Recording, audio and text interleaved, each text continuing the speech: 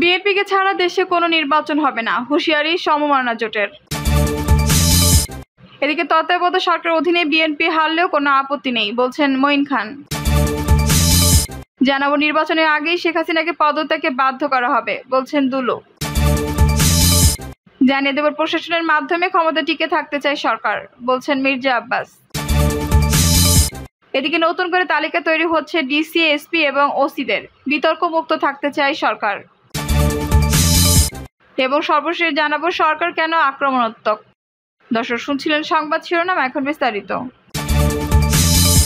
বিএনপিকে ছাড়া দেশে কোনো নির্বাচন হবে না, হুঁশিয়ারি সমমাননা জোটের। বিএনপিকে বাদ দিয়ে দেশে আগামীতে কোনো নির্বাচন হবে না বলে মন্তব্য করেছেন যুগপাত আন্দোলনের শরিক জাতীয়তাবাদী সমমাননা জোটের সমন্বয়ক এনপিপির চেয়ারম্যান ফরিদুজ্জামান ফরহাদ। তিনি বলেন, আওয়ামী লীগ সরকার আবারও দু হাজার চোদ্দ, দু হাজার আঠারো সালের মতো প্রহসনে নির্বাচন করে ক্ষমতায় থাকার পায়তারা করছে। তবে দু হাজার চোদ্দ, আঠারো এর দু হাজার চব্বিশ এক নয়। তিনি বলেন, মার্কিন যুক্তরাষ্ট্র সহ গণতান্ত্রিক বিশ্ব বাংলাদেশে আগামীতে একটি অবাধ, সুষ্ঠু অংশগ্রহণমূলক নির্বাচন চাই এটা দেশবাসীরও দাবি। এই দাবিতে গণতন্ত্রকামী সব বিরোধী দল রাজপথে নেমেছে। জনগণও জেগে উঠেছে। তারা আর এদেশে কোনো প্রহসনে নির্বাচন হতে দেবে না। সুতরাং এই সরকার অবশ্যই পদত্যাগ করে নির্দলীয় সরকার অধীনে নির্বাচন দিতে বাধ্য হবে। সরকারকে অবিলম্বে এক দফা মেনে নেওয়ার আহ্বান জানিয়ে তিনি বলেন, অন্যথায় জনগণ আন্দোলনের মধ্য দিয়ে এই সরকারকে দাবি মানতে বাধ্য করবে। তখন ক্ষমতাসীনরা পালানোর পথ পাবে না। জাতীয়তাবাদী সমন্বয় জোটের এই সমন্বয়ক বলেন, ক্ষমতাসীন আওয়ামী লীগ মুখে গণতন্ত্রের কথা বললেও বাস্তবে তারা গণতন্ত্রে বিশ্বাস করে না। উনিশশো পঁচাত্তর সালে তারা গণতন্ত্রকে হত্যা করে একদলীয় শাসন ব্যবস্থা বাকশাল কায়েম করেছিল। এরপর উনিশশো আটাত্তর সালে জিয়াউর রহমান বহুদলীয় গণতন্ত্রে পূর্ণ পরিবর্তন করেন।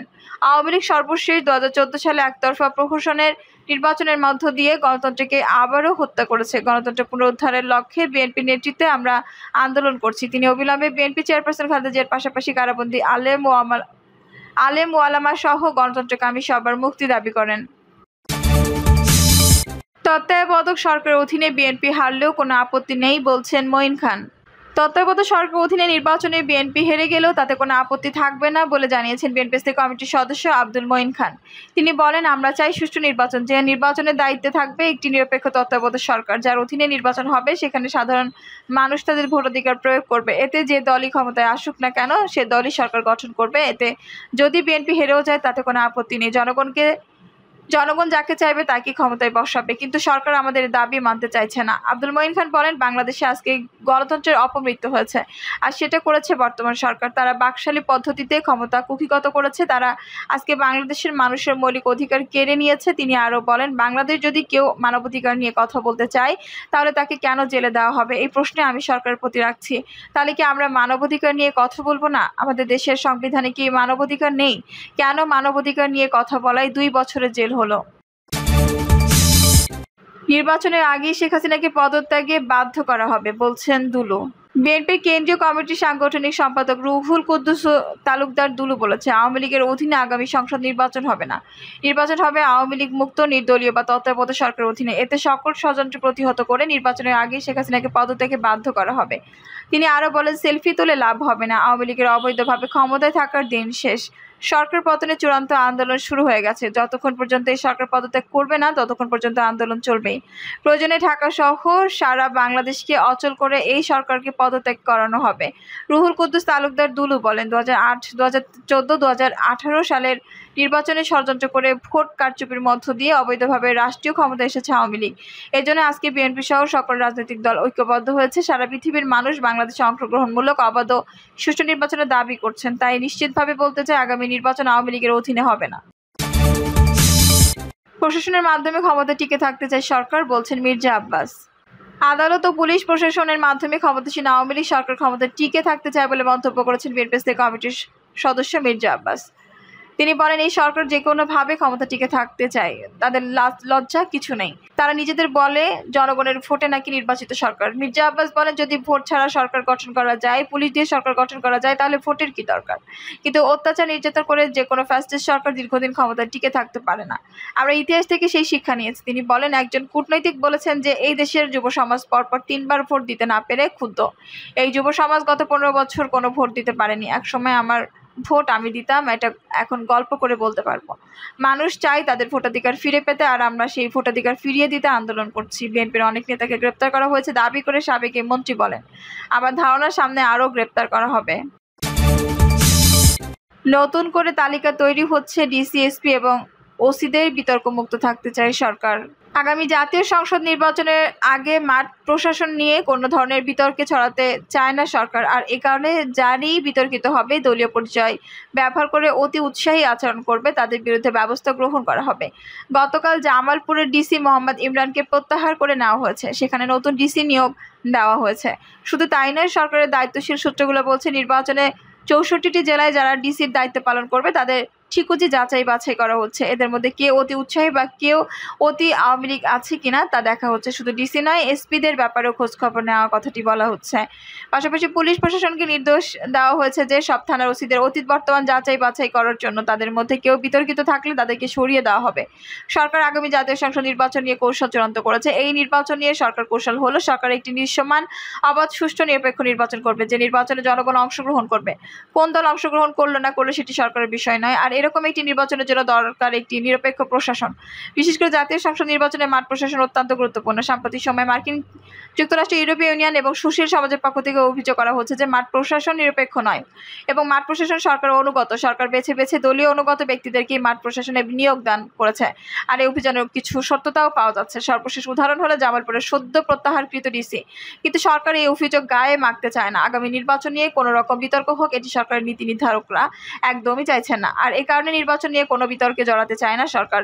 বরং সরকার চায় প্রশাসন নিরপেক্ষতার সঙ্গে দায়িত্ব পালন করুক। আওয়ামী লীগের একজন নেতা বলেছেন যে, প্রশাসন যদি নিরপেক্ষ দায়িত্ব পালন করে, তাহলেই অবাধ সুষ্ঠু নিরপেক্ষ নির্বাচন সম্ভব। এখানে অন্য কারও হস্তক্ষেপ বা প্রভাবের দরকার নেই। কিন্তু বিভিন্ন মহল থেকে প্রশ্ন উঠেছে যে, মন্ত্রীদের, পিএসদের কিংবা আওয়ামী লীগ ঘরানোর লোকদেরকে পেছে পেছে ডিসি এবং এসপি পদে নিয়োগ দেওয়া হচ্ছে। সরকার মনে করছে যে, শেষ পর্যন্ত যদি বিএনপি নির্বাচনে অংশগ্রহণ না করে, তাহলে এই নির্বাচনকে অনুবীক্ষণ যন্ত্র দিয়ে দেখা হবে।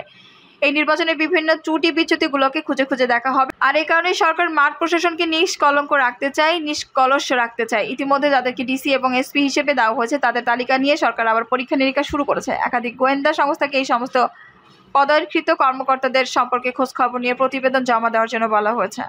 সরকারের পক্ষ থেকে বলা হচ্ছে, নির্বাচনের কোনো এখনও কয়েক মাস বাকি আছে। এই সময়ের মধ্যে যদি দেখা যায় যে কেউ বিতর্কিত কর্মকাণ্ডে জড়িত আছেন, কেউ আওয়ামী লীগের পক্ষে বা বিপক্ষে এলাকায় কাজ করছেন, তাদের ব্যাপারে কঠোর অবস্থানে যাবে সরকার। তাদেরকে প্রত্যাহার করে নিয়ে আসা হবে এবং বিতর্কিত মুক্ত ব্যক্তিদেরকে নিয়োগ দেওয়া হবে। অবাধ, সুষ্ঠু, নিরপেক্ষ নির্বাচনের অন্যতম শর্ত হলো প্রশাসনের নিরপেক্ষতা এবং সরকারের পক্ষ থেকে মার্কিন যুক্তরাষ্ট্র সহ বিভিন্ন দেশকে আনুষ্ঠানিক বৈঠকে অঙ্গীকার করা হয়েছে। প্রশাসন নিরপেক্ষভাবে কাজ করবে, সেই অংশ হিসেবে পুরো দেশের ডিসিএসপিদের পুনর্বিন্যাস করা শুরু হয়েছে বলেও সরকারের একাধিক সূত্র বাংলা ইনসাইডারকে নিশ্চিত করেছে। সরকার কেন আক্রমণাত্মক?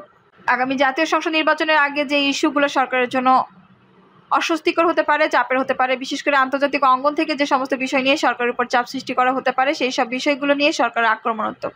এই চাপের কাছে নথি স্বীকার তো নয়ই, বরং পাল্টা চাপ সৃষ্টি করে সরকার এই ইস্যুগুলোকে মোকাবেলা করতে চাইছে। দিন যত যাচ্ছে, তত সরকার আক্রমণাত্মক ভূমিকা সুস্পষ্ট হয়েছে। ইতিমধ্যে ডক্টর মোহাম্মদ ইউনুসের মামলা সরকার দ্রুত এগিয়ে নিচ্ছে। আগামী বিশ সেপ্টেম্বর এই মামলার শুনানি এবং সাক্ষ্য গ্রহণের দিন ধার্য করা হয়েছে। ইতিমধ্যে ডক্টর ইউনুস ইউনুসের জামিন বাতিলের জন্য আদালতের মামলা করেছেন। কলকারখানা কর্তৃপক্ষের আইনজীবী সবকিছু মিলে ডক্টর মোহাম্মদ ইউনুসকে কোনো রকম ছাড় না দেওয়ার নীতি নিয়ে এগোচ্ছে সরকার। যদিও সরকারের পক্ষ থেকে বলা হচ্ছে বিষয়টি সরকারের নয়, এটি শ্রমিকদের মামলা। সরকারের জন্য আরেকটি মাথা ব্যথার বিষয় হলো অধিকার। অধিকার নামের এই মানবাধিকার সংগঠনটি বিএনপির পৃষ্ঠপোষকতায় পরিচালিত একটি সংগঠন।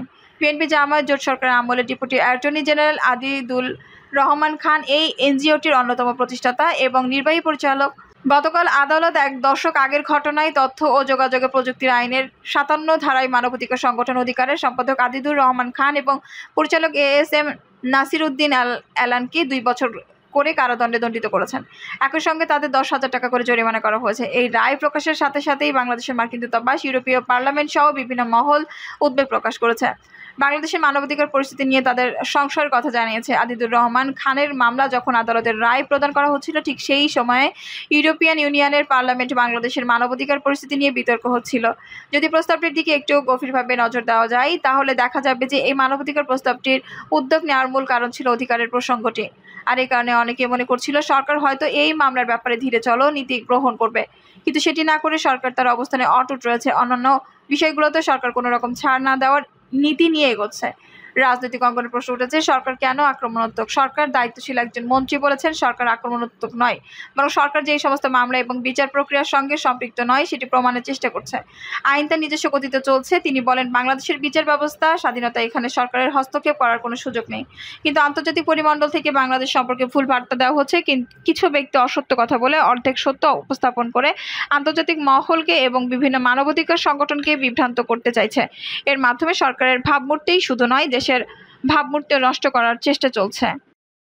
দর্শক, এই ছিল এখনকার সর্বশেষ সংবাদ। নিউজটি ভালো লাগলে অবশ্যই একটা লাইক দিন কমেন্ট আপনার মূল্যবান মতামত জানান। সবসময় আমাদের পাশে থাকতে সাবস্ক্রাইব করে বেল বাটনটি অন করে রাখুন। ধন্যবাদ।